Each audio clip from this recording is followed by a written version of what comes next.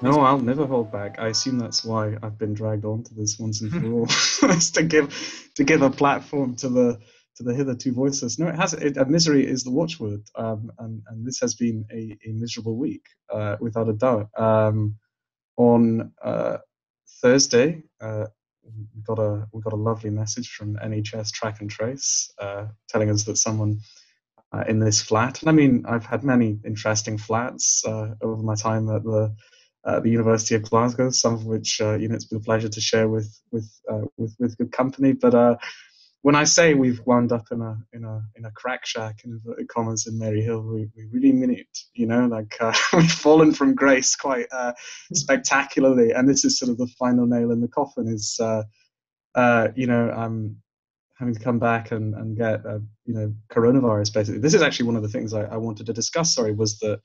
Um, by law, obviously, if you're living in a flat like that and someone contracts it, you do have to go back and self isolate because you could have been exposed to it.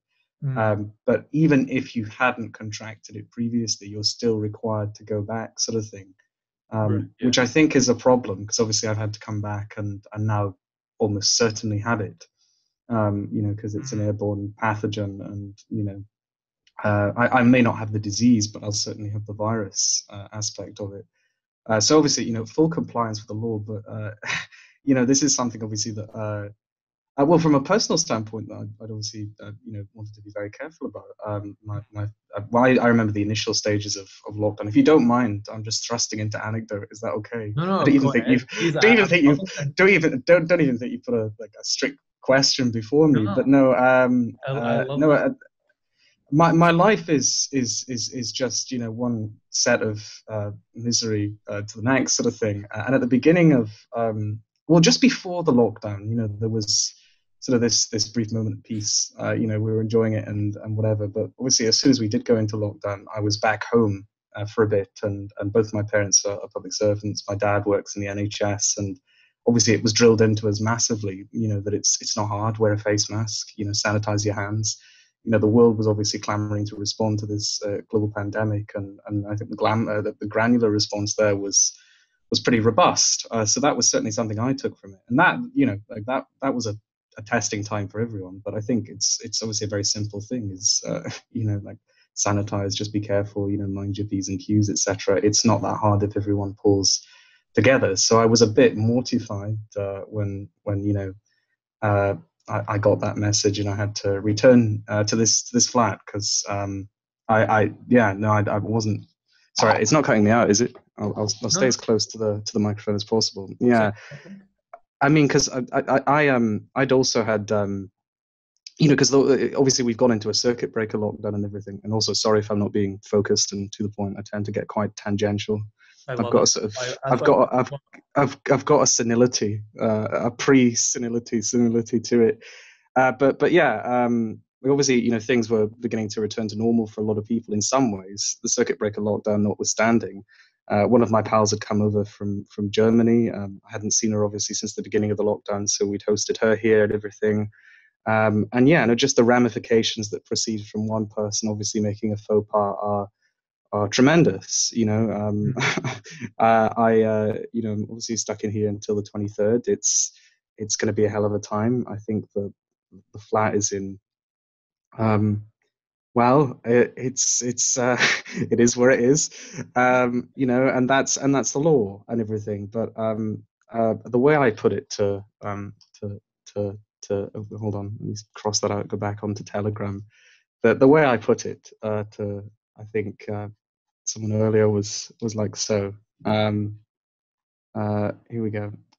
Uh, yes, uh, uh, sanitizing one's hands, wearing a face mask, and not going for an impromptu shag to Dundee aren't codes of behavior to master. I shouldn't think. Uh, this is not a pointed remark in any way, shape, or form. Uh, yes, no, it's it's it's obviously it's it's it, it is where it is and, and you know i'm trying to adjust to it. I, I you know like i don't particularly like being in here. The room in this this flat is is unlike anything i've ever known really. Um, the walls are very thin. Uh, they have ears and uh, you know as much as an exhibitionist or a voyeur might enjoy that like for 10 days and potentially feeling a bit piliwali it's it's it's going to be a test of uh, of even the most robust personage's uh, endurance sort of thing. But no, I'm, I'm, uh, people have brought me groceries. I've been very touched by sort of the, the outpouring of support, and there is a real sense of community there. And it's it's very it's very rare that I actually uh, get serious about these things. So, uh, you know, uh, yeah, it's certainly brought it all, all, all home for me. So yes, in short, my week has been bloody miserable, particularly miserable, more miserable than usual. But but here we are. We're sitting with um, you know half a glass of uh, think it's uh, uh it's a Beaujolais uh, Villages, uh, which I think is some Bordeaux wine. Over half a glass of that, a miserable mug, um, and you know just a bit of existential ennui, which I imagine is the same for a lot of people uh, across Scotland uh, tonight. Yeah, um, yeah, I think you're absolutely right. I think this has pressed a lot of people, put a lot of people in some unique circumstances that they definitely didn't expect. mm-hmm, mm-hmm. times. Um, so yes, that was a great introduction, I must say. Incredible. Probably one of the. It's a bit of a flabby opening gambit. I love that. I love that. That's exactly what I'm looking for. I want those tangents, and you better keep them flowing throughout this conversation. But mm. I also want people to know who you are. So, would you like to introduce yourself? I hate self promotion in any sort um, of capacity, and unfortunately, that's just the adult world into which I seldom fit. Uh, I, uh, uh, I I would stick obviously with the like uh, you know perhaps the most miserable person in the United Kingdom uh, label, but uh, no, I'm I'm I'm Rory Mullen. I I'm a fourth year student of English literature at the University of Glasgow. I hate you know like the self advertisement, you know like the sort of, you know like because it, it yeah like uh, there's no fanfare to it. It's it's it's it, but but yes I, I um in in short uh, at, at, at the moment I um, I'm in my sort of final year of uh, study at Glasgow University. Uh, I'm uh, doing a few other things uh, beside that I'm running a, a Glasgow based theatre project at the moment but of course mm-hmm. all theatre and shite has gone up the Swanee. So uh, we don't really expect to see anything more from that etc um, and and yeah no I suppose I'm I suppose, technically a published uh, poet at the moment, um, and I certainly have very, uh, very specific views that I tend not to share. Uh, that that I imagine are, are, sometimes quite out of step. Uh, uh, but but you know, um, yeah, that, that, that it's like doing an icebreaker thing. I usually just shut up and miserable. Um, I am who I am. If they ever make a Wikipedia page, you know, I look forward to it. Isn't that the dream? Having a wicked. That is the dream. Exactly. It's the mark having arrived at something. Is yeah. is having you your Someone birth to death. Your legacy for you. That sounds. Oh yes. Um. So yeah, you said you you are currently studying. You mm-hmm. are mm-hmm. you have a, a theater um based drama esque project on the go. You're mm-hmm. you are a poet. Mm-hmm. anything I'm missing here? And and you got coronavirus. In, in, in inverted commas. Because again, this is the thing. Yes, and I've got coronavirus. You know, I'm joining the ranks of of of of, of the high and mighty uh, who have had this disease, sort of thing. Uh, yeah, no, uh, these are all like um, these are all labels that I can be quite resistant to. Also, you're you're, you're cutting it kind of a bit. I'm going to check the bandwidth because it might be on my end as well. Am I still fully audible? Yeah, you're perfect on my yeah. side. Um, yeah no these are these are all sort of labels i resist. You know like self-identification with these things is is is is hard for me just because i don't know like there's just still this like very strong sense of west of scotland like don't promote yourself don't mm.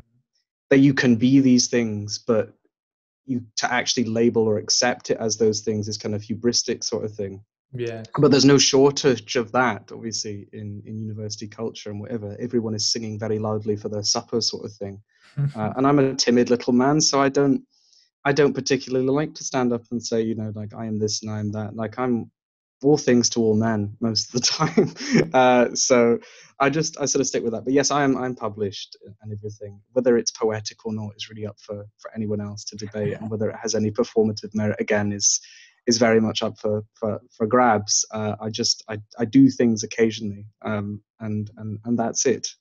Uh, I think um, I'm gonna peter out now. So uh, your your poetry is published. When did you start writing poetry? Is this something you've always been doing? No, it's not. It's I mean, yes, but it's all been very private. It's always very, very right. private. I don't like sharing any manner of cultural experience, uh, which is which is yes, which is not. It doesn't make for the happiest sort of bedfellow with this sort of term poet, which is where you are supposed to to share, you know, your, your human experiences and whatever. Yeah. But I've had very unique human experiences or lack like thereof in in many ways, which mean that it's sort of very hard for me to to open up about these things. I, I think, if nothing else, like I do offer some, you know, unique perspective on on certain matters because, um, uh, well, the, the original, you know, sort of call to arms in a sort of poetic sense. Because I mean, like I used to have a little journal where I'd write something, but I would never share it. You know, like I would just because I knew it wasn't good enough, sort of thing. You know, mm. like I'd decided that if it couldn't rival Keats or Spenser or Pope, then it really wasn't worthy of any critical attention. You know, like I hold myself very firmly up to all these personages and greats, and and mm. if I'm not hitting the nail on the head, sort of thing, you know, if I'm not you know channeling or or, or or, you know creating a style that's lofty like that then i kind of just sort of flagellate myself and say well don't fucking write anything. And i mean that's generally what i would say. I mean if god forbid if i go into teach english that's what i'll be saying to the next generation is just stick that up your ass because it's tosh. But of course people need to learn. People need to you know build that resilience. And in a lot of ways i didn't do that when i was growing up. You know like um i, I didn't really put my work out there. I didn't get it judged. Uh, and yes i can be quite sort of sensitive to criticism and in the end you know like i have found this style that's certainly very unique and emotional but all of that has been very much locked uh, away for a long time because i've never seen fit to to open up about these things. But now obviously that i'm a bit drained i've decided well you know we can all jolly well hop it and i'll try it anyway. And um, i don't know it's been very i think when i do do it, it it's it's usually sort of um, in a performative way. Like it has a lot of performative gusto. Like it has to almost be a uh, a matter of life and death for me to to sit up and do it. And I remember very distinctly being told uh, by the the English teacher, um, you know, like why don't you try and write you know poetry when you've got like lived human experience? And i just never really had that because a lot of my young life was running from any manner of human experience. Not any manner. I knew friendship. I knew what it was like to have a wonderful friendship. And indeed uh, need i invoke you know Mr. Mahi Mustafa, who is, of course, uh, you know, one of the most beautiful men alive, etc., and uh, at, at, you know, whose feet I fall and simp, etc. You know, like one of the modes of human experience I understand well is a very strong male friendship, but I had never, at any point in my life, really up until like 19 or 20, understood romance, understood, you know, sort of sex and sexuality. That this is a very sort of divorced part of my life uh, and so when she said go out and get human experience, I assume that's what she meant. Go out and you know try life, love, and the universe for a bit. Uh, and of course, when you are a jumped up child like me, and you put me in sort of the middle of a university culture, and yeah, you know it's it's it's tough. And that was what compelled me. That was what got me, um, you know, eventually to go and sort of you know and I mean, it was embarrassing. It's still embarrassing, you know, because uh, you know there are. It, it, it's um, but but I think certainly for those who have like it is it, it's it's it's unique if nothing else. I hope you know like there's not quite uh, anyone who reacts to these things in in quite the same way. Like it's a flicker for me. Like it's a brief flicker of a humanity that I've been running from all the time when I stand up at a microphone and eventually speak about these things that I've been keeping so private about myself. Because all the conversations that you have growing up, like the sharing of human culture, like I'm sharing this song with you, I'm sharing this album with you, I'm sharing this film with you, etc. Like I I only really shared with one other person. And it wasn't, of course, in a romantic way, it was in a sort of best friend way.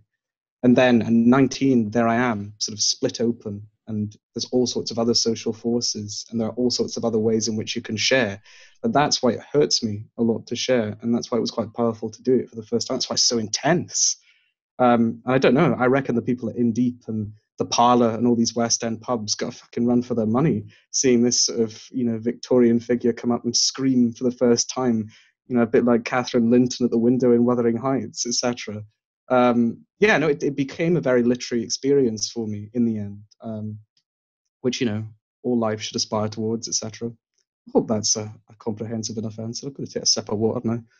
That's a great perspective to have. It's not a way I've ever looked at things, and the way you're mm. talking about it is so. I mean, you're painting the picture so.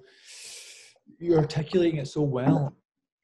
It's it's brilliant to hear you talk about this. Actually, um, I hope it's not going against exactly what you're saying by finding it a struggle to articulate humanity by talking about this, but it is exactly what you're doing, and it's brilliant. Well, I, I do it. I do it now because you know I'm yeah. convinced that there's there's like even though it's happened at a very delayed, you know, and it's happened in a very delayed way. You know, like um, the, there's no point in going through your life sort of indefinitely. You know, shielding from all human experience. Like you have to learn at some point and somehow. Um, and really, unless you know you're chronically disabled or whatever, or have some sort of like no one can run from it you know? Like we are continually growing we are continually developing and and that goes even for for lost forlorn souls etc um such as such as me.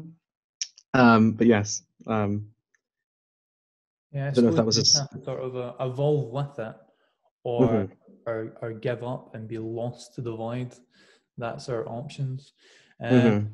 yeah that's that's great to hear. Um so poetry though when did you start writing poetry do you think when what's the earliest point in which you would consider what you're writing down to be poetry I've never considered it poetry, just to, to be clear, because again, I'm very poncy and very specific about what I do consider poetry. And in fact, I used to be very robust in those debates. Like I have a very traditional schema uh, for for what counts as poetry, and you know, like I put a lot of.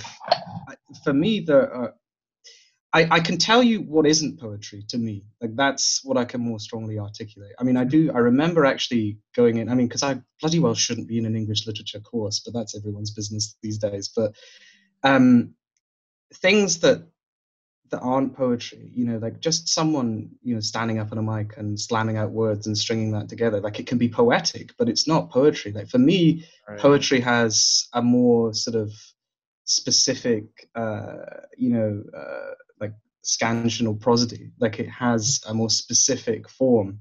Um, like I can be quite traditionalist in that. Like I like poetry, for instance, obviously, and particularly poetry within the English language that has, you know, a, a good rhythm and a good rhyme. Uh, you know, um, something that, that that has a stable meter and and stable rhyme, and that just kind of speaks. Uh, that well, in, in, in to me certainly that, that that is beautiful. Like that is what to me is beautiful having grown up in something like Glasgow, for instance, where the world isn't very literary here. You know, the world isn't very uh, mm. beautiful in that sense. That's a, a, that's a form of exquisite realized in verse that that you know sort of bam talk and you know like that sort of vacuous, harsher speech could never lend itself to. So of course mm. that's poetry. It's it's absolutely for me to decide there. I think but of course, you go to an English literature course at like Glasgow University or Edinburgh University, and it is, and I use this term in in, in a lot, uh, yars, you know, like very sort of well-to-do English people that, of course, have grown up in that, who have grown up in the cult of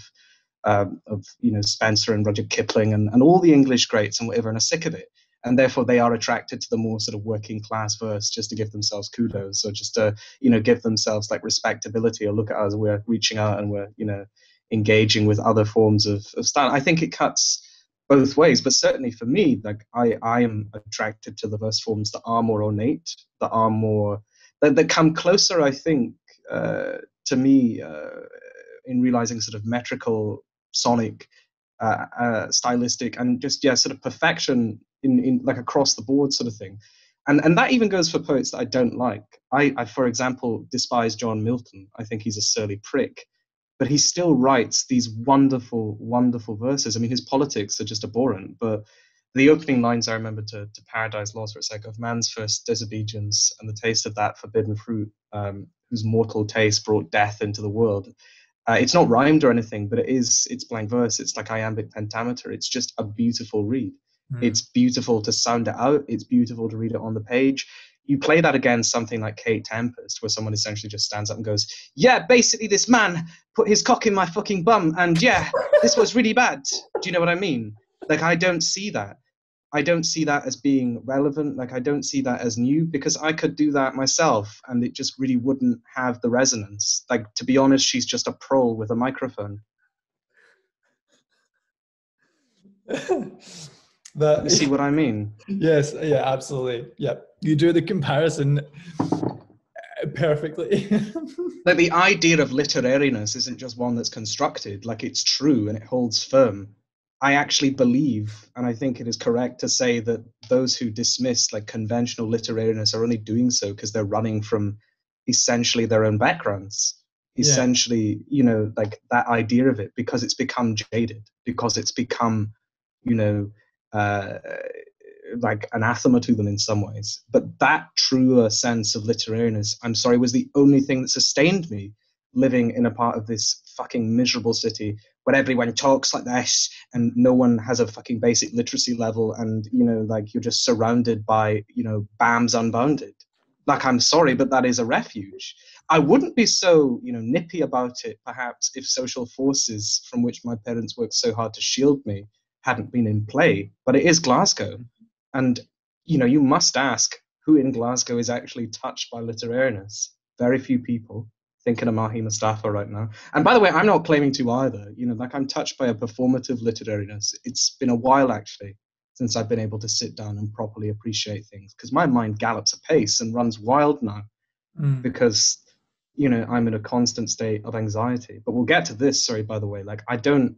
I don't like making you know too many bones about it. I don't like opening up about it in the same way that obviously a massive part of you know the university culture does. You know, um, that's something I'd like to come to. But just to, to sort of recapitulate the point, I think there is a definitive kind of literariness that I'm attracted to and that I believe in. Um, and I just I wouldn't want to see that die. Um, it gets bound up, obviously, a lot of the time in debates about colonialism, imperialism, and whether these poets are relevant now. But you know, there is beauty to be found in all of these works. There are universal human truths um, that can be captured so well in, in, in these older works. And I just think, you know, why why would we run from them? Why would we try and rearticulate that? Why would we try and paste over it with essentially more hackneyed and sloppy work? Mm. You know, I don't care for basically much poetry, you know, beyond the, the 80s. You know, like I think there's a lot of truth and, and beauty to be found in, in, in the history of it, you know, because the human condition is kind of unchangeable like what changes obviously is how the societies that we live in work um, yeah. and whatever else like the material conditions change but you know like fundamentally you know what we crave what we seek you know that's very much all locked in that earlier verse and why should we disregard that if there's a more powerful articulation of it to come from the greats and the ancients mm-hmm. uh, and that sorry would even include like a canon of english literary greats which of course we talk less about in a Glaswegian system, but you know, like unfortunately we speak this language. It is very good.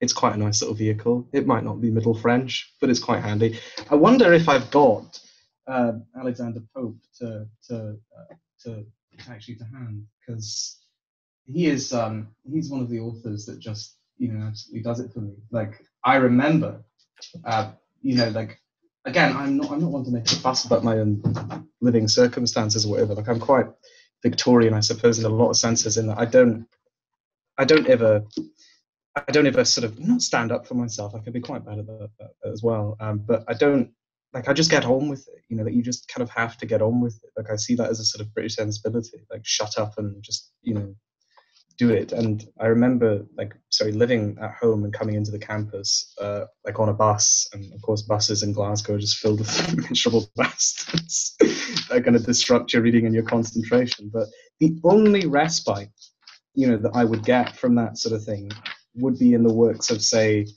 uh, Pope and the other satirists from the early like 18th century. And I just remember uh, just looking now for the, the, the more essay. There is there's a poem that absolutely you know stuck with me uh, called Windsor Forest. Um, yeah, here we go, um, which is uh, this pastoral, uh, panegyrical, uh, topographical poem um, that Pope writes during the reign of Queen Anne, and it's it's to do with um, uh, there's a, a, a, massive continental war that Anne brings about peace to. It's the War of the Spanish Succession, and he just it, it, like it's just it's so perhaps conventionally beautiful, but I, I, like just because it's conventionally beautiful doesn't mean that it should be written off. I'm just looking for this beautiful couplet, and then I will stop and, and let you get on. I think it's there it is. And at length, the great Anna said, "Let discord cease." She said, "The world obeyed, and all was peace." I mean, it's pish, and obviously the woman was fat, had 17 pregnancies, and you know didn't really achieve that much. wasn't really an astute politician, but the way it's formulated, like mm. it's beautiful. It really is beautiful. I don't care if it's untrue. I don't care if it's trying to paste over the cracks. Like we know a lot more about this woman now, but I just think the idea of this fat, lisp, and lame woman like bringing peace to Europe is is a powerful one. Mm. Um, and and I just yeah like that takes me out of the of the laboriousness of the minutiae of the of the sort of total disaffection, frankly, that I feel with with today. That's me done. the uh, one of the reasons I wanted to create a podcast in the first place is because I really love hearing people uh, talk about things they're passionate about, and hearing you speak about this right now is is um, it's exactly what I wanted from this podcast. It's exactly what I wanted. I wanted to hear people like yourself talk about things that you you are enthralled in, you're you're engaged in, you're you're immersed in, and everything that you, are mm-hmm. talking about. That's exactly the way that I. Uh, this is incredible. Thank you. Um, I would like to go back to an earlier note when mm-hmm. you said that you don't think that you should be uh, studying, uh, or did you say you don't think you have the right to study English literature? no, I just don't think I should be doing it. Like it would have been okay. a hobby. It would have been a nice hobby on the side. It's now become a full time career, uh, which is uh, which is not right. Yeah, no, I did. Um, I, I again, uh, in the in the spirit of sort of confessionalism, uh, I ended up in an English literature course because um, I had a very strong friendship in school with someone, um, and I remember I'd done this pre-entry teaching qualification, uh, and I could have gone into. I don't think actually I would have been seated for primary school teaching. That would have been a bit miserable. I think anyway. Um, but uh, my pal uh, who, who went to Edinburgh to do a degree in theoretical physics, um, he was you know telling me you know do a proper degree. um, and I remember I got the the higher English award and whatever, and I'd done obviously very well that year. Um, and I don't know, like I was kind of just sort of cajoled into um, not cajoled, like he never told me to go and do it, but it was this emphasis on a proper degree. Um, and it wasn't that I couldn't do uh, English. It's just that obviously I hadn't quite grown up in the right uh, culture for it. I mean, it's not that we didn't read. I do like plays and I do like poems, but I wasn't getting through a novel a week where I grew up. You know, there wasn't a huge passion for fiction. Like, yes, there was definitely a uh, a literariness. Yes, there was definitely a, an interest in in language and in words, but how far that could extend plausibly, how far that could go, particularly when it's you know brought up against people that have had perhaps more opportunities there, uh, was was was sort of any man's game. So yeah, I ended up in this course, and you know it was not was not right. I mean, the syllabus also at Glasgow University is bollocks. Um, just to be completely honest, but I don't really speak up for these points anymore. Like I just really need to grit my teeth and get through this year, sort of thing. Um, with with you know as with as much as I, I can, sort of thing. Um, I mean, it's very much tied into obviously my, my lack of a university experience as well. I mean, I didn't, my parents never saved uh, for me going to, university, so I didn't have any money. I arrived at 17. You know, I was in a course potentially that wasn't right for me. Um, I could still do it, and you know, in in the end, of course, like obviously got into honors, and you know, I'm I imagine a, a capable chappie, but it, it, came obviously at an extreme cost because there were all mm. sorts of holdover issues that I've kind of alluded to already, like holdover social issues. In that here was someone that I'd spent my life with up until like 18, gone to Edinburgh, you know, gone forever. So not forever, like, but the change, yeah. the the material change in my that yeah, no, completely. It shook me. I mean, obviously, bad move to just put all your eggs in one basket mm-hmm. sort of thing but that's how much a creature of loyalty and purity that that i am mm-hmm. um, and yeah no to be thrust into an english literature degree where obviously you know it's full of people that won't frankly like should have been told to shut the fuck up a long time ago. Like, um, yeah, it, it was tough. It was not an easy environment. And I also, I should say, I did a lot of my hires in in the sciences and in mathematics, sort of thing. You know, I could have gone another way with this, mm. uh, but you know, I kind of spun the wheel at the end of school and thought, well, you know, here's a positive leavers destination. We'll go in and we'll do it. I think the way I put this to people before is that it's kind of forced me to adopt some sort of literariness in my own life. You know, right. like I've been uh, very keen to recoup a lot of moments that I would never have had in, in the south side of Glasgow. And there have been absolutely moments like that. There have been these wild trips to Venice. There have been um, other trips, you know, that, you know, because I never really got to travel growing up either, just because of the family setting and whatever. You know, I'm very, fine and very anxious and very difficult, and I certainly can't do a novel a week. But when I do, you know, put pen to paper, it, if I do say so myself, it tends to be very good. It just, it takes a lot of time to like authorize one's right to speak, mm. uh, because there are all these foibles that have come from school, and you know that have come from you know, growing up in a part of the world where it's not exactly like it's not exactly like you were having, you know, like meaningful literary or philosophic discussions like growing up. Like it was simply enough to, you know, get through a day of school and pass your exams and do well, frankly, to be to be okay, you know, essentially in that department. You know, that was a, a hallmark of of having done something. Um, the shift uh, into a university culture was was tough um, and not one that I've, I've fully mastered. Um, and yes, I've blown all my chances to, to reorientate myself. So I better just get my head done and, and, and do it sort of thing. It will certainly be a very, very entertaining moment uh, if I do graduate, perhaps with a 2 1 or a first in a degree that was never right for me. But that, I think, is the only way that I have any hope of, of, of realigning myself academically or, or whatever, uh, which I would like to do you know, mm. ultimately. Like, I'm really glad that Balls of Pasta Salad have made me an expert on the Earl of Rochester's closet dramas, but more and more I query, you know, what, what is this achieving? what, what, like, where do I go with this sort of thing? So, yeah, there are lots of other things that I would like to do. There are lots of other issues that I would like to speak up on. You know, like I, for instance, you know, have a very keen interest in in politics. That perhaps that was something that that, that I, I, should have thought about. I think my place ultimately is in a humanities or a social science. It's right. just I've ended up in a full blown arts degree, and uh, it's it's a test. It's a test. It's it comes into the writing, it comes into the speech, it comes into to everything. But I hopefully will will you know uh, bear with it, get through it, and uh, who's to say where we'll go uh, from there? It's it's been you know like a huge impediment in many ways, but um, mm. you know as I say, trying to see it as constructive because that's the whole positive mentality pitch that we're supposed to adopt these days. Anyway, I hope that's again a comprehensive answer. I'm gonna wish that. Um, another uh, side note that was mentioned earlier was uh, your perspective on uh, what was it? People speaking about their their anxieties the yes. What, what were you going to say on that? I'm sorry. Like, um, everything that I've outlined to you, like, um, I went to 1920 and shut my hole, you know, zipped. Fucking, if you're getting a meal, if you're getting three meals a day, you've got fuck all reason to complain. You know, um, I think these are very sort of first world problems about like I need a safe space, I need a fucking like fuck off fuck off, British society is unfair, you know, and we've all clocked this. I really don't need this pish.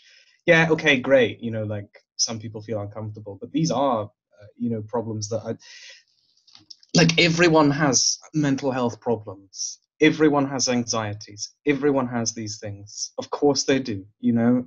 Uh, I wouldn't want to downplay that, but I often feel like it's co opted, particularly by those, frankly, who have the resources to deal with it because I'm sorry, but like uh, it tends to be obviously that the more resources you have, the better able you are to address mental health problems. You know that you'd be able to perhaps look for private ther- therapy, sort of thing. Like that was not something I got. So I think like a baseline level of sort of, you know, um, I suppose just pulling your breeches up is what I want to say. Uh, would be helpful for everyone. Like I don't think indefinitely you can you know you can absolve yourself of responsibility you can absolve yourself of of the need to contribute in some way uh, with with an infinite spiral of, of mental health. Yeah, is a thing. You know, I recognize that now.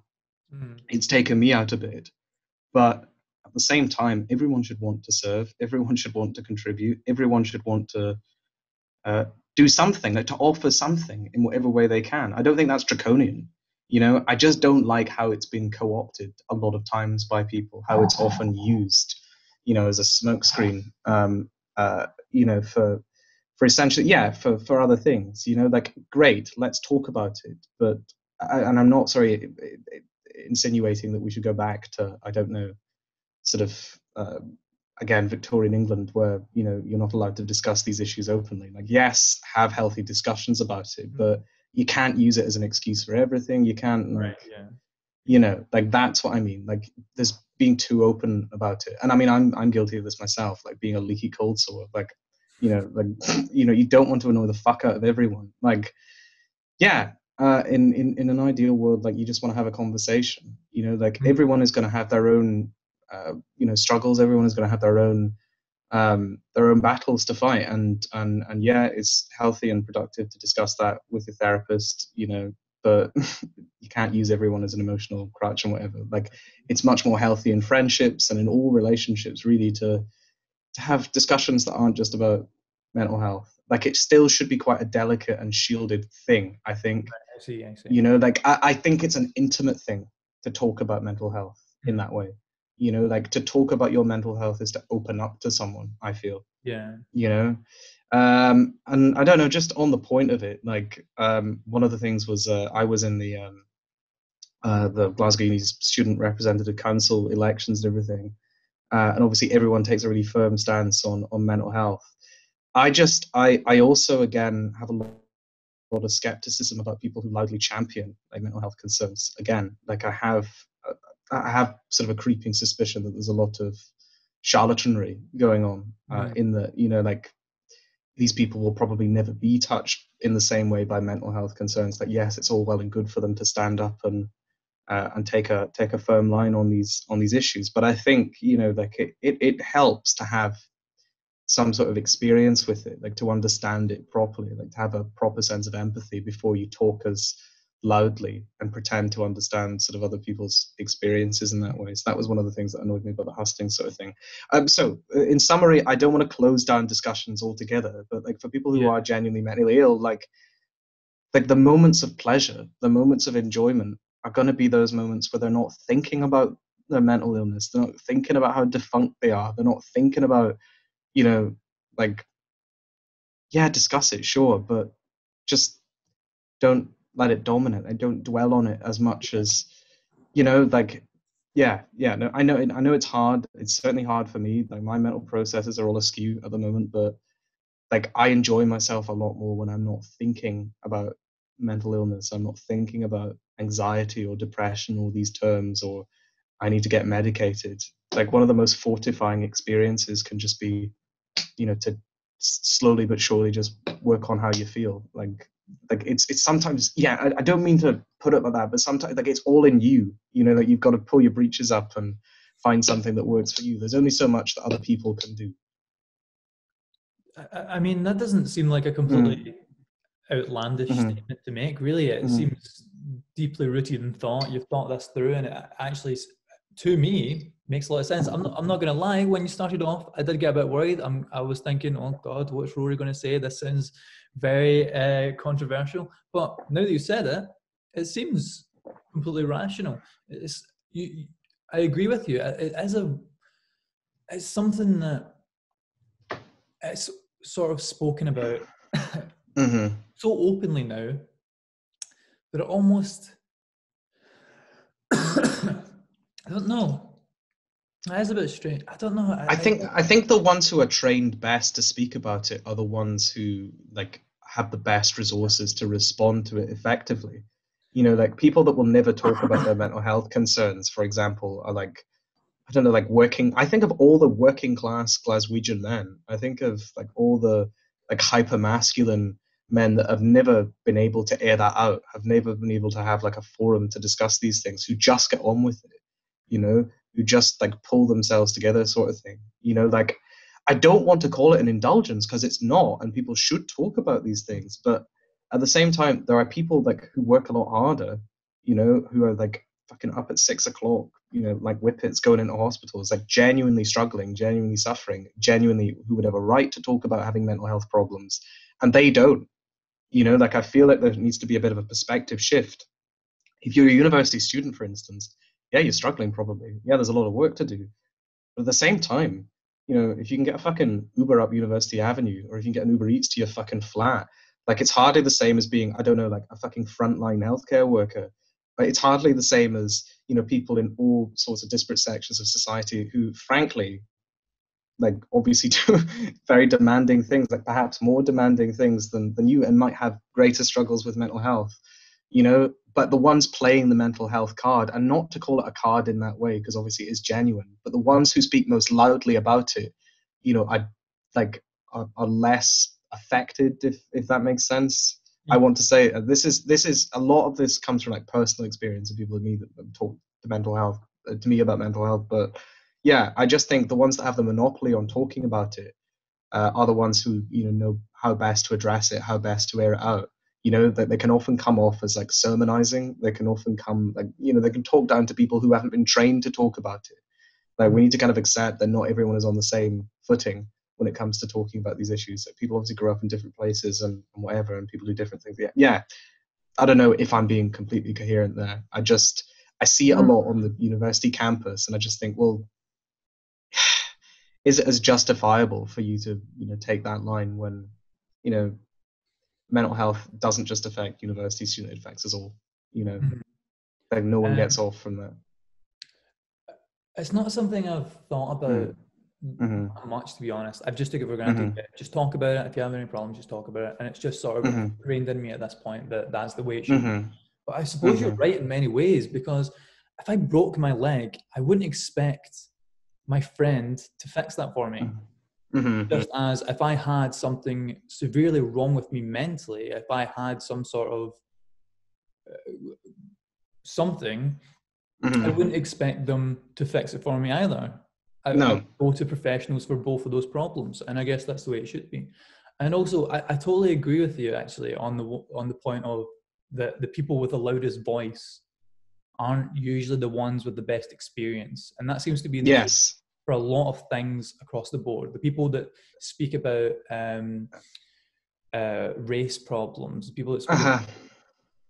homophobia or, or, or any any sort of political problems, any sort yeah, of are the ones that are empowered beyond that category. Absolutely. Exactly, absolutely. Yeah, I, I, definitely think that's the case. I mean, and then they cast themselves as weathercocks. They cast themselves as people who speak for that category. You know, like I just yeah. don't like that at yeah. all. I mean, I've spoken to countless people on on the subject of um, sort of like uh, racial or, or, or appropriation, racial appropriation, um, mm-hmm.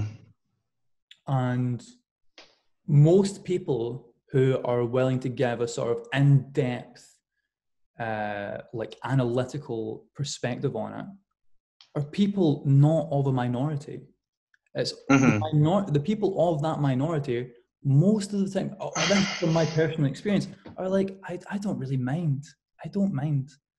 And I guess it's that's the case with most things. It seems like the people that have the loudest voice aren't usually the, the most the ones affected proportionally yeah, by these issues. No, completely. Look, yeah, yeah, you know, this is this is it. Like, I'm sorry, like if I can get Yoruba to your Black Lives Matter protest, yeah, hmm. like while the rest of black people in Glasgow do fucking, you know, like daft jobs percentage wise like proportionally you know wouldn't have time to attend those protests etc like mm-hmm. it is i don't want to play into i think it's, it's not all virtue signaling. I don't want to use virtue signaling in that yeah. aggressive way.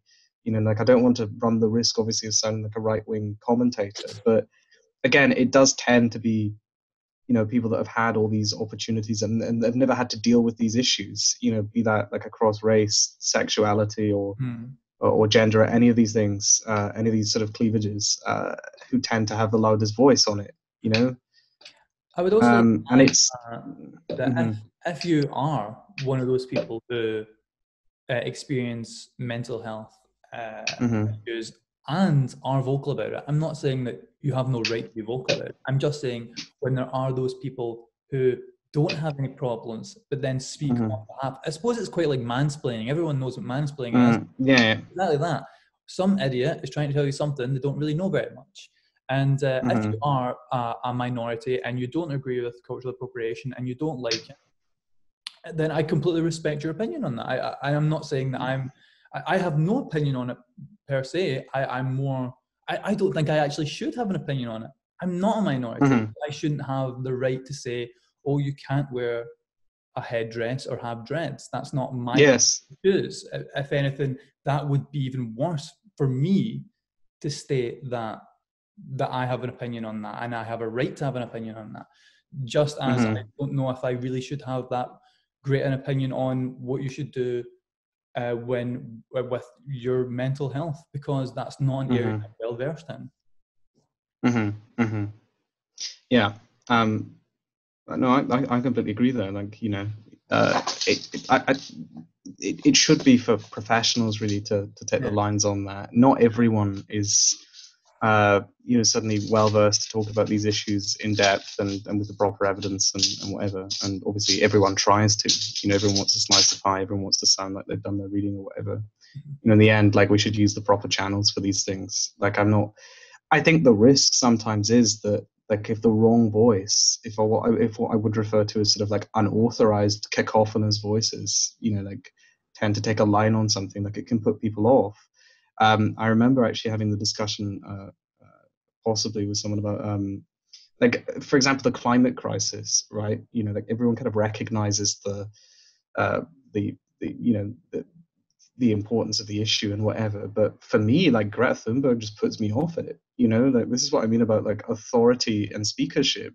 Uh, like I don't like people on university campuses that sound like this and speak up about Black lives and you know like they're white as day and you know I probably never like do you know what I mean? Like there's just some sort of inherent irony in it.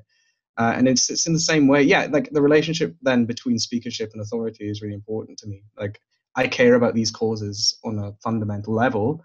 Yeah, it's yeah, just when when you get like someone who like stands up and is prepared to be vocal about it like you have to question why they're being vocal about it. Like is it for the cause or is it so that they can project their profile? You know like what, what is it about so they can really. get a leg up in whatever their their, their uh-huh, in whatever their career is sort of thing exactly, yeah. like i think on a baseline care about the cause you know on the baseline of course black lives matter i'm not even i'm not even that's not as a fucking non-issue like yeah. i think you just don't bother dealing with people who well i mean i certainly don't like i, I wouldn't stalk internet forums to just like debate people that you know have like toxic views or whatever but Mm. You know, some people have a lot of time on their hands and and, and shite. Um, yeah, yeah. Um, speakership and authority, really important relationship. Um, I I don't, you know, really like. Again, you can have the position, you just don't have to agree with like the poster boy of these uh, movements or whatever, poster boy, poster girl. You know, like you're allowed to say, I don't like, you know, Greta Thunberg, or I don't like, you know, whoever speaks for Black Lives Matter. Yeah, I'm sorry, I'm petering out again. A, have a sip of water, sort of thing. But I think the point is somewhere in that. No, I, I totally agree with you. I, I, mean, I think we're on the same page that we both mm. agree that most of these matters are matters that are justifiable. Black lives mm-hmm. do matter, and I suppose the mm-hmm. movement itself does it does matter. But again, the people who have the loudest voices in these these um, movements are often maybe they're, the best to be. No, they're not the best speakers. They're not the most authorized speakers. Yeah. Uh, and they're not like most of them just aren't even black. You know, like they're just yeah, trying to build yeah. solidarity for the generation of social kudos on their own basis. Like if they didn't do that, then it would obviously make them look terrible. Um, you know, um, which I think is their chief concern. Now, now that we're really getting into sort of um, mental health, I, I think I've, mm. I've, there are a lot of parallels between mental and mm. physical mm. health that I, I, guess I never really paid attention to. I mean, mm-hmm. if I if, if you cut your your hand on a knife, mm-hmm. Mm-hmm. then you came to me and you said, "Tom, I've cut my hand on a knife. I could give you a plaster, a little band aid, cover up the mm-hmm. You're fine." Mm-hmm. If you have a little problem like that, that's going on inside your head, then yeah, your friends probably could help you out. That could mm-hmm. fix the problem quite quickly. But if that cat is now uh, festering with tetanus and terrible diseases, I'm no longer the best person to go to. I'm not even in the top 10. I'm, I'm useless now. I've become completely useless. There are yes. professionals that can deal with that problem, just as there are professionals that can deal with the same problems that happen internally. Um, mm-hmm. And I guess that's maybe, I, I, mean, I'm not trying to dictate anyone's life. I'm not trying to say this is the viewpoint everyone should have, but I guess it's, you have now made me realize in this moment that that is a good perspective to have. It's a good perspective to not just say, yeah, just go talk to your mates and everything will be fine, fine because that's that's actually quite bad yeah. To be given people. It's not very useful.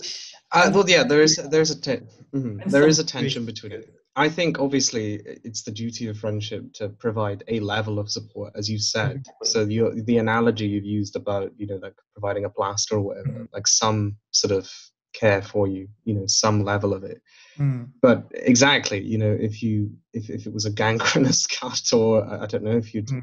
lost a leg or something exactly. like you need to go and see about that elsewhere and i know i'm guilty of it you know i can like everyone is responsible for their own life insofar as they can be and you need to go and seek that help sort of thing it's whether i suppose that I mean, the, the caveat. Sorry, this is this is the one point I make is that obviously mental health provision in the UK is poor.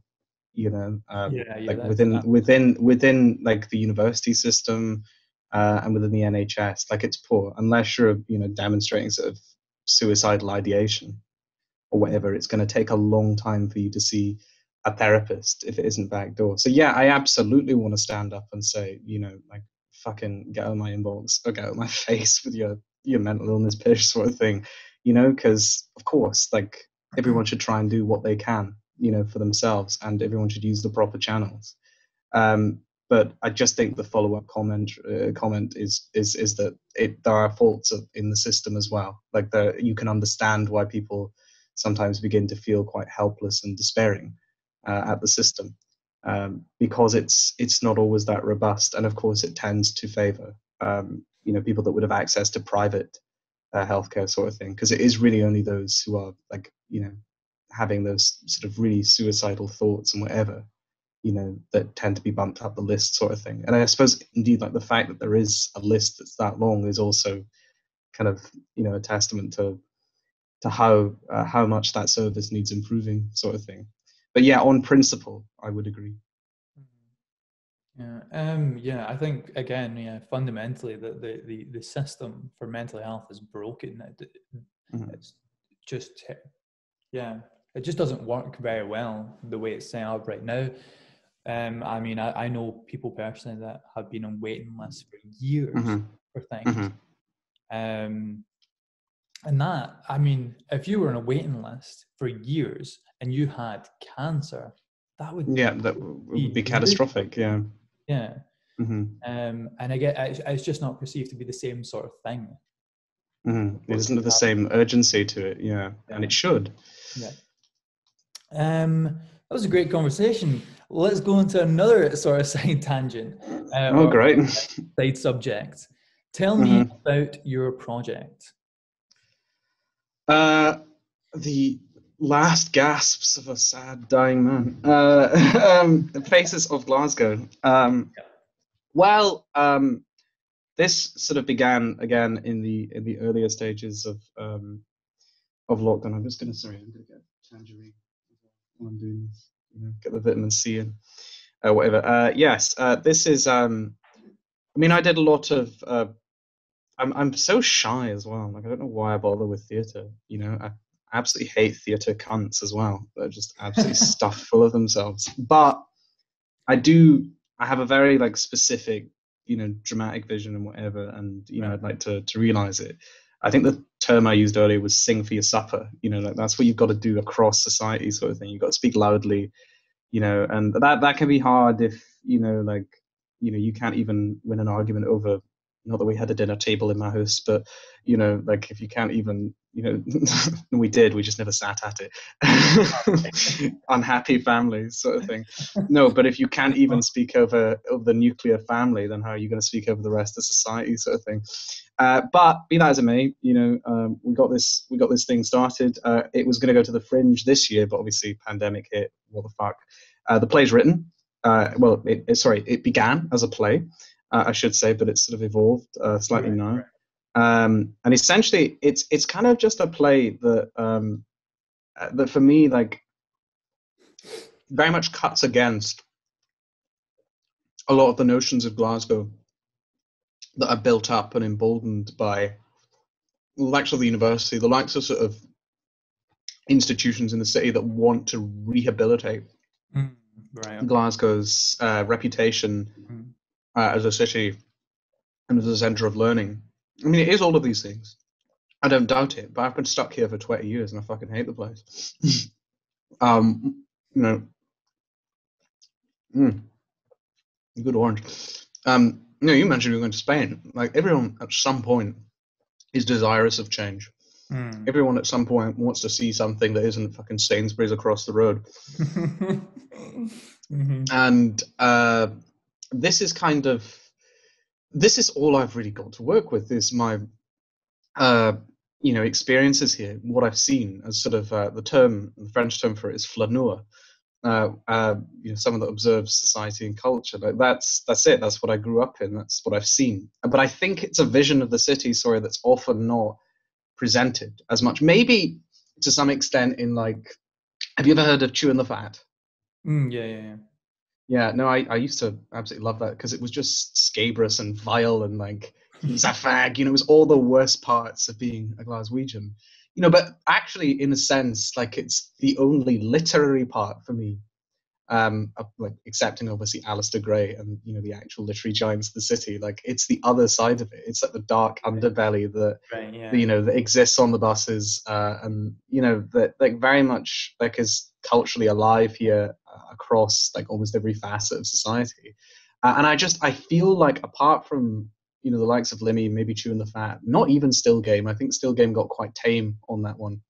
Um, that kind of ridiculous brand of humor, mm-hmm. uh, that like you know potty mouthed vulgarity, like yeah, passion, yeah. shit, and clunge, and you know just absolute awful, hasn't really been done justice to. And so this is where I sort of begin to marry you know my first version of literariness which is that sort of high diction that like you know beautiful courtly poetry the greats of english literature and then even earlier in the french chansons and whatever but slap that together with like absolute glasgow bam patter you know and call it a play.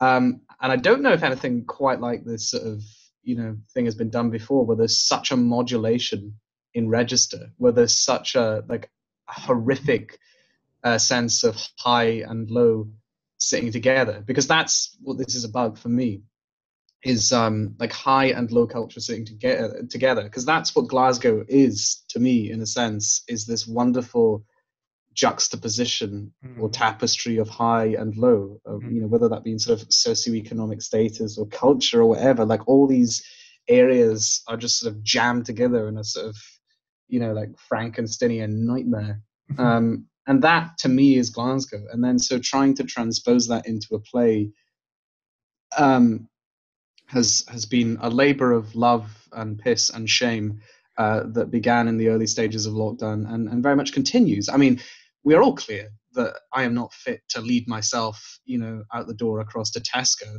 Never mind a theatre project that's sort of now multinational or whatever. But you know we're enjoying it sort of thing like i think only glasgow could have spawned something as irritating uh, as me and and this cast and whatever. And no i've been very i've been very touched by by all the um because I, I again i don't like you know standing up and presenting my work a lot unless there's like something really important or personal like that demands it. Not no i don't mean as in i like sharing the personal for the sake of the personal like absolutely not.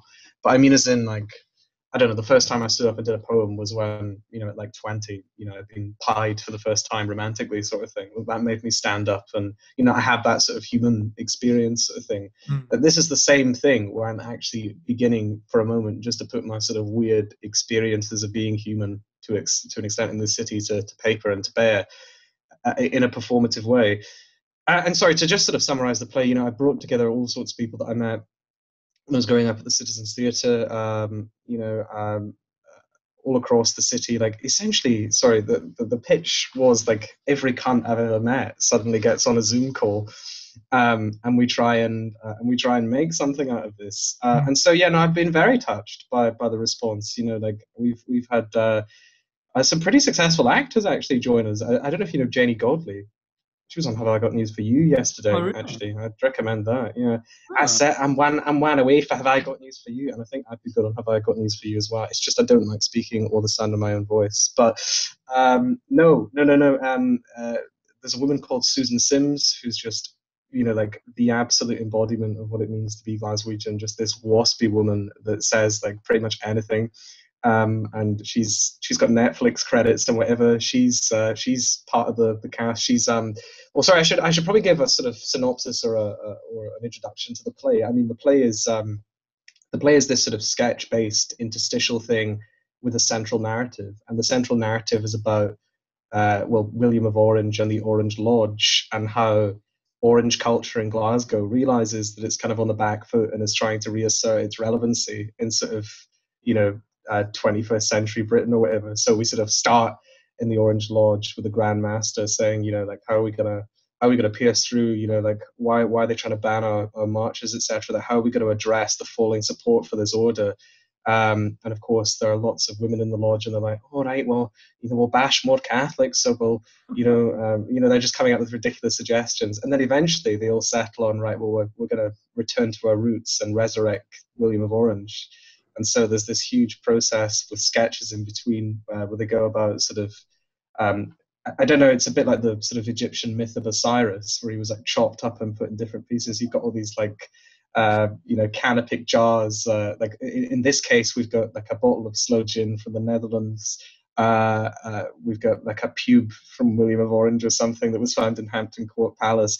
And all of these essences come together uh, and he's resurrected. And you know, the Orange Order is amazed, like here he is, it's our leader back, except there's one small problem. He comes back, but kind of as a run of the mill, like Glaswegian Pufter or Glasgay. So he just sort of walks out of like a sort of glass sarcophagus and he's like, eh, eh, eh, I haven't had a fucking manicure since the 17th century, boys. How's it going? And obviously then it's just playing that off against like the hard lodge master like king billy what is this? you know sort of thing. Like there's a lot of there's a lot of good conflict on the stage. And i think it's very funny. It's well i, I hope so anyway. It's a very aggressive on the nose like cock and ass satire but it's it's it's my style. Um, and yes no i'd very much like to uh, to, to take it to the fringe sort of thing. Um, of course, theatres are shut at the moment, so we're very limited in what we can do. There is a trailer for it out on on the YouTube channel sort of thing. Um, I just don't really like, you know, doing it online sort of thing. Like again, it plays back into my sort of uh, original sensibilities as a performer, where it has to be kind of a private audience, where it has to kind of be like a private performance. Like I like to see people's reactions live then and there, and that's obviously something that the coronavirus problematizes, uh, you know, kind of indefinitely. Um, but but yeah, this is this is my show. This is I think uh, there's nothing quite like it. I hope, and I mean that like that's for good or ill. Uh, and uh, yeah, no, I very much look forward to, to sort of directing, perhaps even acting in it, sort of thing, uh, and seeing you know what kind of attention we could attract. We've been very touched by the response so far, and we're you know just waiting to see. Uh, where it goes, I'll certainly have a lot of time to work on it uh, from from from from this sedentary position if I do wish to, etc. But yeah, no, in essence, it really is just about putting a sort of hitherto, I think, untapped version of Glasgow on show. You know, one that doesn't always make it into the the cultural consciousness or like you know the prim and proper BBC presented version, but absolutely exists and is still there.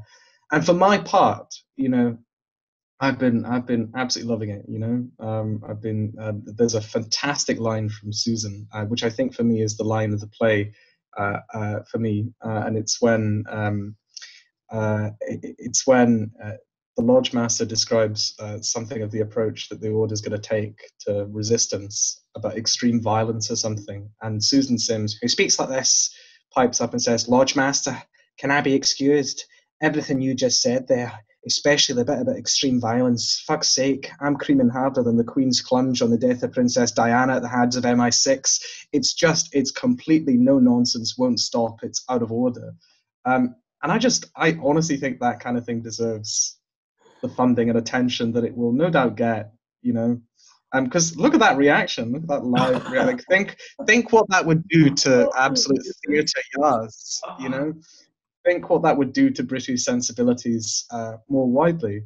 Uh, and of course, for it to come from, because that's it, appearances and reality can be quite divorced. It can be quite deceiving. You know, I can sit here and intellectualize all this pish, but when the when, when the truth is out, you know, like people still stand. I mean, it was the same in Shakespeare's day. You know, like you know, any sort of scatological humor, any sort of talk of that like you've got to put something in for all the audience members you've got to put something in that's funny and i just think that's funny across the board like i think even those at the higher strata of society will raise a cackle at that sort of thing you know um, so hopefully uh, it's got a cross-cultural appeal but we'll see i still think this needs to be heard i still think it needs to be seen i don't think you can have a polished version of glasgow because glasgow isn't polished you can't polish like glasgow is not just the west end it's the fucking rest of us mm-hmm.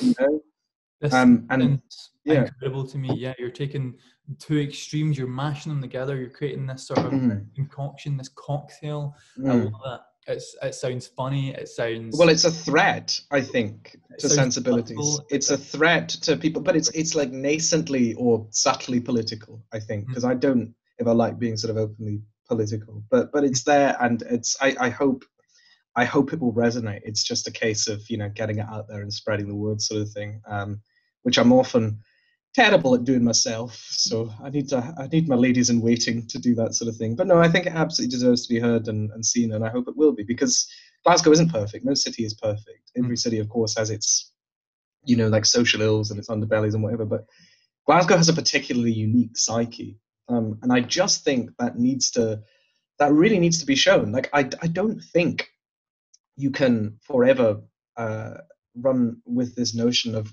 of, of Glasgow being, you know, like this beautiful haven or whatever. You know, it's a post-industrial shitter to some, and that version of it needs to be needs to be disseminated in some way. Um, and I don't think that's doing it an injustice. Like I was born in Glasgow, I live and breathe Glasgow. Like Glasgow is written into my skin and my bones and how I speak and how I am and how I dress and how I think.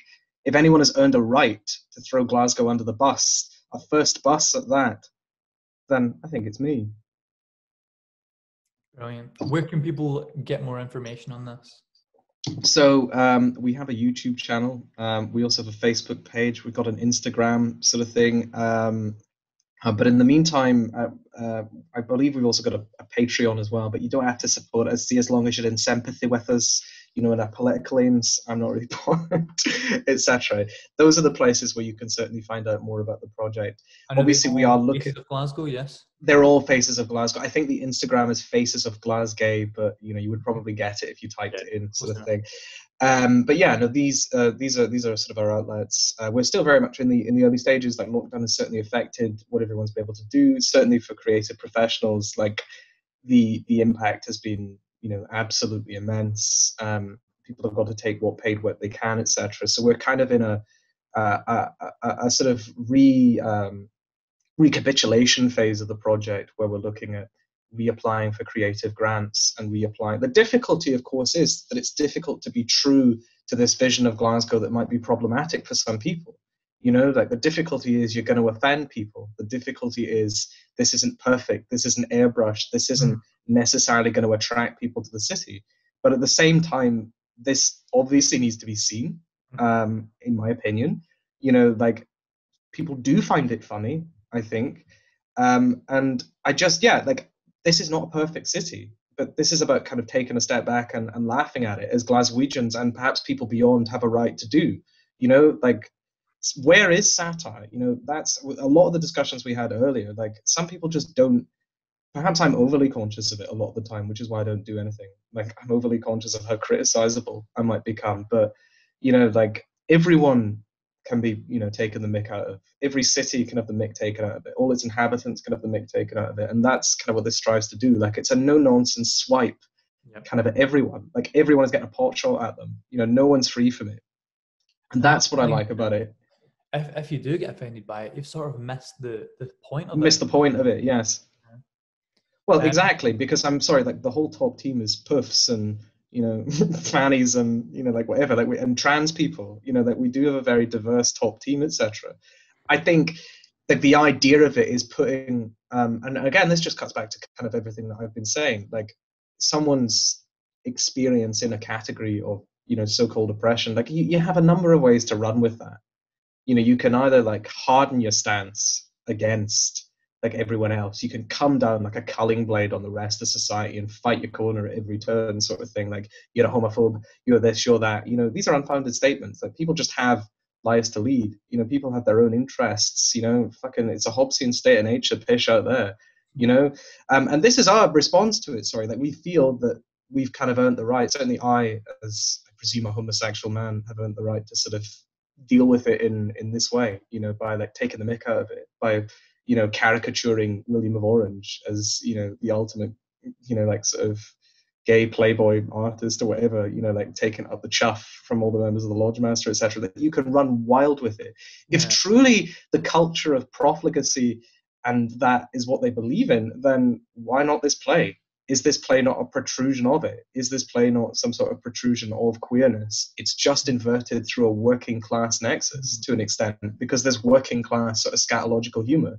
But that isn't to say that the people behind this, the brains behind the operation, are intelligent because, of course, this same play is stuffed with. Uh, sorry to, to get very specific in the terminology again. It's stuffed with lines from the Breton lais uh, and 14th century uh, French chivalric poetry and whatever. Like suffusing this play is, as I say, that Frankensteinian influence mm. of high literariness and just lowbrow pish.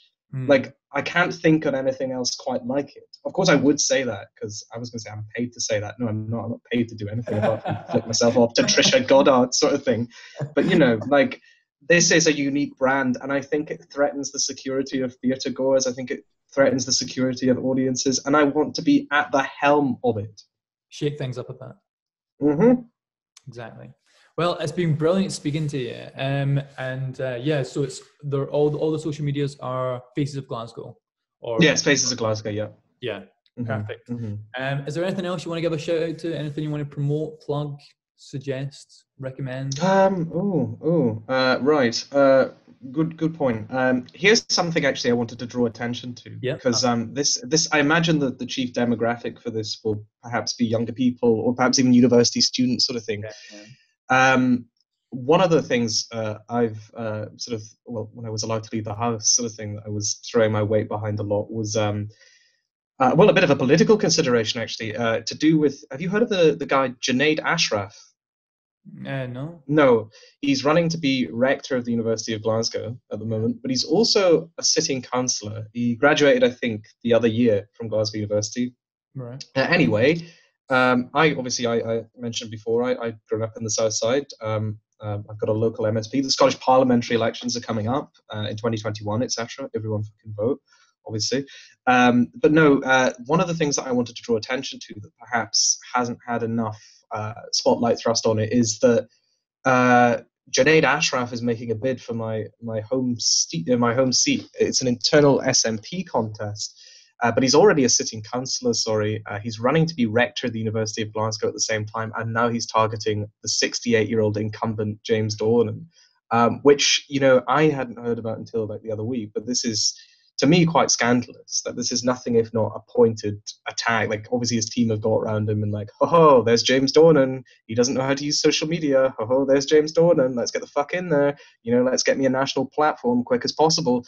Um, I'm quite disgusted by that. And one of the things that I would absolutely want to draw people's attention to is that uh, that, that Mr. Ashraf, whilst obviously highly qualified and, and highly capable as a public representative, is in this case, you know, just being a cynical git um, and you know like really ought to think about what he's doing because um, that that sorry is one other thing that I wish to point out. If Mr. Ashraf wins the internal contest, I, uh, as successor to Lord Buckethead, will be standing in the constituency as an independent, um, you know, and I'll be looking forward to submitting my application to the Electoral Commission. So I would say, sorry, if anyone is voting in the constituency of Glasgow Cathcart uh, next year, hopefully Dornan will be in. Vote for Dornan because you know there's no real point. And again, with the first past the post thing, it's obviously best to get your a good constituency representative. And with Dornan, his his record has just been exemplary. That we've talked obviously about mental health, but this is a 68 year old man who champions that as a backbencher uh, from from the Scottish Parliament, who spars with Ruth Davidson